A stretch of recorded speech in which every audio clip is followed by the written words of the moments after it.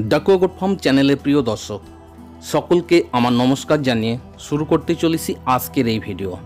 আজকের এই ভিডিওটিতে আমরা আলোচনা করব একটি নতুন গোট ফার্মিং শুরু করতে গেলে কতটুকু জায়গার প্রয়োজন এবং কীভাবে গোট ফার্মিংটিকে সাজানো উচিত।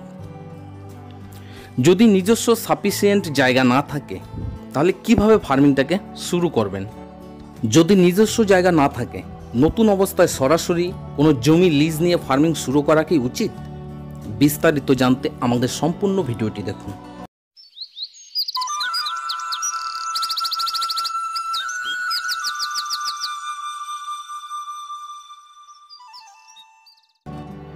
বর্তমান সময়ে দেখা যাচ্ছে অধিকাংশ মানুষ পশুপালনে আগ্রহী। তাদের মধ্যে অনেকে পশুপালন করে স্বাবলম্বী হতে চান। একটা ইনকামের প্ল্যাটফর্ম তৈরি করতে চান এবং কিছু মানুষ রয়েছে পশুপ্রেমী বলে পশুপালন করতে চান। কিন্তু এই ফার্মিং বা পশুপালন করার জন্য সাফিসিয়েন্ট জায়গার প্রয়োজন। সেটা সবার পক্ষে জোগাড় করা সম্ভব নয়। কিছু এমনও ব্যক্তি রয়েছেন যাদের শহরাঞ্চলে বাড়ি। তাদের ক্ষেত্রে ফার্মিং করাটা খুবই মুশকিল। একে তো হচ্ছে জায়গার অভাব, দ্বিতীয় হচ্ছে বিভিন্ন ধরনের সেখানে প্রেশার আসতে পারে আপনার উপর। যার জন্য ফার্মিং করতে গেলে একমাত্র উপযুক্ত পরিবেশ হচ্ছে গ্রাম। আর এইসব গ্রামাঞ্চলেই খুব সহজে আপনি ফার্মিংটাকে শুরু করতে পারেন বা সহজে আপনি জায়গা ম্যানেজ করতে পারেন। আমাদের ভিডিওগুলি যারা গোট ফার্মিং করবেন, তাদেরকে ডিমোটিভেট করার জন্য নয়। সে সকল বন্ধুদের সঠিক তথ্য এবং সঠিক পথ দেখানোর জন্য, যেন ভবিষ্যতে আপনার এই ধরনের সমস্যাগুলো না আসে। হয়তো আপনি শহরাঞ্চলের মধ্যে ফার্মিং শুরু করলেন বিভিন্ন মানুষ আপনার উপর কমপ্লেন করবে। হয়তো আপনার ফার্মটাকে বন্ধ করে দিতে হবে।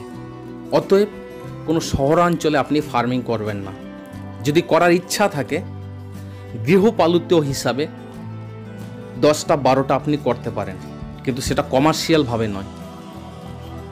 যদি আপনি একটা নতুন ফার্ম শুরু করতে চান, অবশ্যই আপনার দশ কাঠা নিজস্ব জমি থাকা চাই। সেক্ষেত্রে ভালো হবে।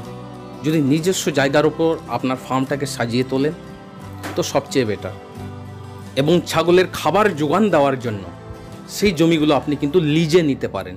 কিন্তু যে জায়গাটাতে ফার্ম করবেন, সেটা নিজস্ব থাকলে সবচেয়ে ভালো। কেননা সেই জায়গাটা লিজে নেওয়া আপনার পরবর্তীতে সমস্যা হয়ে দাঁড়াবে। আর যাদের সাফিসিয়েন্ট জায়গা রয়েছে, আপনারা দেড় বিঘে জমির ওপর ফার্মিংটাকে সাজাতে পারেন। দশ কাঠার মধ্যে আপনার ফার্ম এবং গ্রেজিং জায়গা। আর এক বিঘে জায়গার মধ্যে আপনাকে কিছু গাছগাছরা লাগিয়ে রাখতে হবে। কিছু ঘরোয়া মেডিসিন গাছ এবং কিছু খাদ্য জাতীয় গাছ। এছাড়াও পার্মানেন্ট কিছু ঘাস আপনারা লাগিয়ে রাখতে পারেন।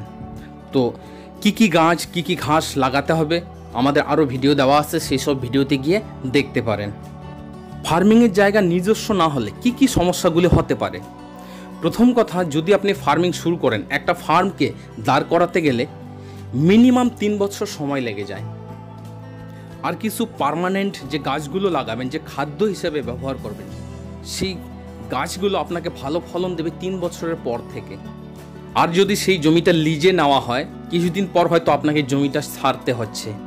তো আপনার গাছ লাগানোটাই কিন্তু বেকার হয়ে যাবে। নতুন করে আবার কোনো জায়গায় যদি আপনি গাছ লাগান, আবার তিন বছর সময় লাগবে তাকে ভালো ফলন দেওয়ার জন্য তৈরি করতে। অতএব ফার্মিং এবং পার্মানেন্ট যে জায়গাটুকু, সেটা নিজস্ব থাকা চাই সব থেকে ভালো হয়। তো আশা করি বন্ধুরা অবশ্যই বুঝতে পেরেছেন আমার কথাগুলো।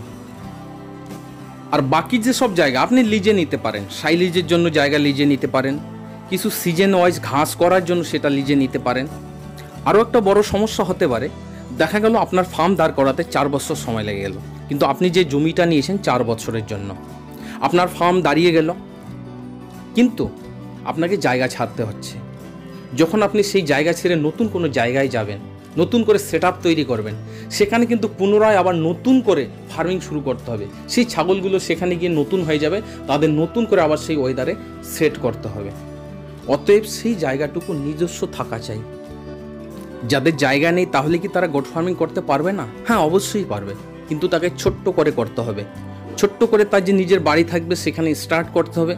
সেখানে জিনিসটাকে পুরোপুরি জেনে নেওয়ার পর যখন নিজের মধ্যে কনফিডেন্স চলে আসবে, নিজে যখন স্যাটিসফাইড হবেন গুড ফার্মিংয়ের ওপর এরপরে আপনি লিজ নিয়ে সেই জায়গাতে শিফট হয়ে যেতে পারেন।